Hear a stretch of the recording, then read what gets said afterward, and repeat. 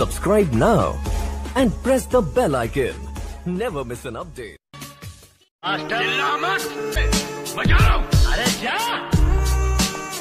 मुझे किसी की ज़रूरत नहीं है अरे जब मैंने अपने दिल में रहने वालों के जाने का अफसोस नहीं किया तो घर से जाने वालों की